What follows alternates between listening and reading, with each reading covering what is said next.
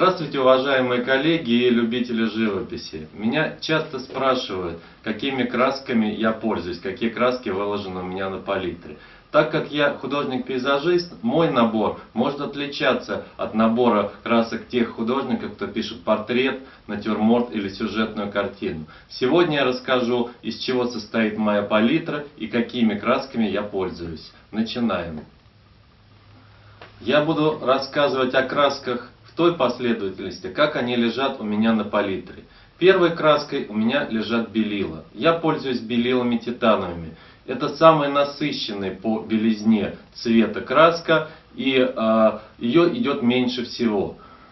Краска белая – это расходник. Мы постоянно замешиваем ее в разных смесях. Поэтому белила надо выбирать качественных производителей. Я пользуюсь красками Мастер-класс и Рембрандт. Следующей краской на моей палитре лежит кадмий лимонный. Он очень необходим для летнего пейзажа, без него обойтись практически невозможно.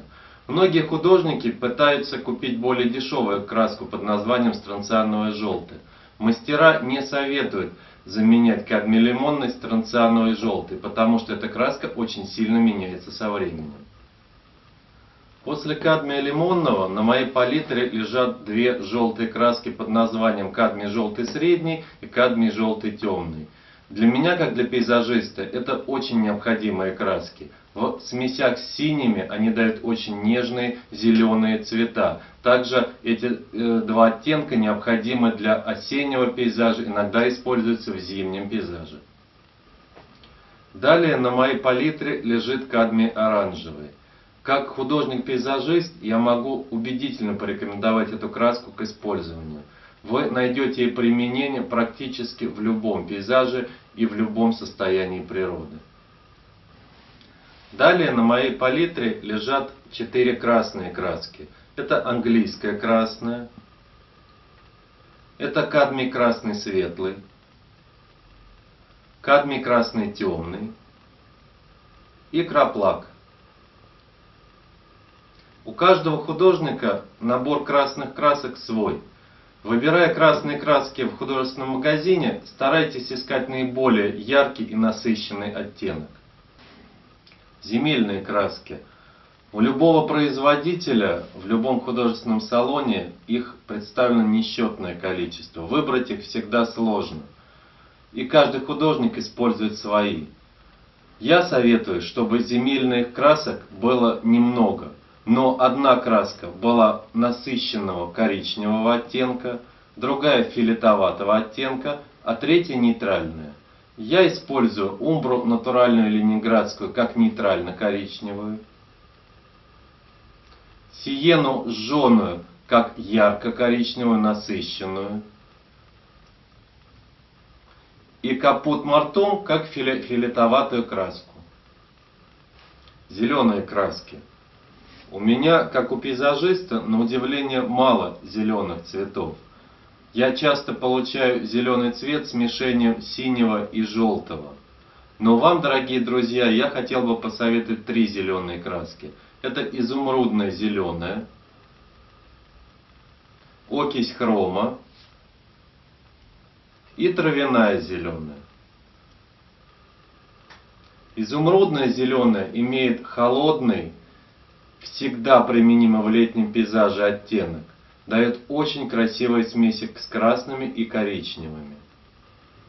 Окись хрома – изумительная, глубокая зеленая краска, очень часто используемая мной в летнем пейзаже. И травяная зеленая – это новое изобретение завода Санкт-Петербургских художественных красок, тоже постоянно пользуемое мной в живописи. У меня на палитре три синие краски. Это ультрамарин темный, небесно-голубая и кобальт синий темный. Без ультрамарина я практически не могу обойтись. Он используется мной очень часто и для получения тонких зеленых оттенков в смесях с желтыми, и для написания неба, и для написания морской глади.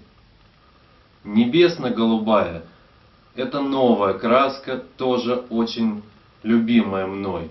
Ее тонкий голубой оттенок очень красив в летнем небе, в солнечной морской глади и также в смешении с желтыми красками. Кобальт синий темный я стал использовать недавно. Мне стало не хватать оттенка третьей синей краски, и он тоже плотно вошел в мою палитру за его уникальный цвет.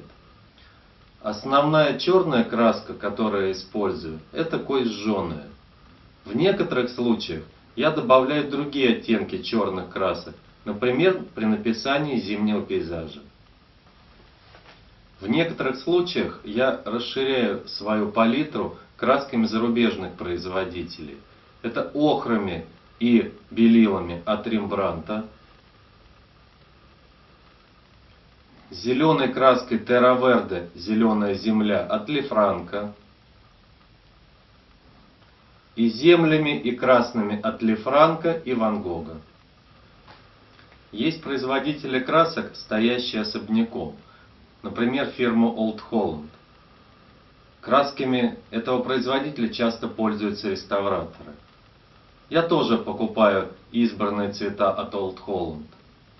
Должен предупредить, что краски очень дороги, и не каждый сможет себе позволить составить полную палитру от этого производителя. Выбирая краски, обратите внимание на специальную маркировку. Это квадратик и рядом звездочки или крестики. Квадратик обозначает укрывистость краски или другими словами густоту. Квадратик бывает полностью закрашенным, наполовину закрашенным или пустым.